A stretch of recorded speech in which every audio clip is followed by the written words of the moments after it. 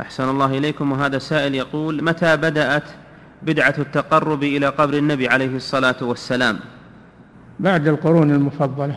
كل الفتن وكل البدع والشرور بعد انقضاء القرون التي أثنى عليها رسول الله صلى الله عليه وسلم.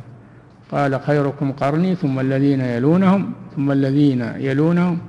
قال الراوي لا أدري ذكر بعد قرنه قرنين أو ثلاثة. ثم قال فإن ثم من بعدهم تخلف خلوف يقولون ما لا يفعلون ويفعلون ما لا يؤمرون ويظهر فيهم السمن ويشهدون قبل أن يستشهدوا إلى آخر ما جاء في الحديث. حدثت الشرور بعد القرون المفضلة. نعم.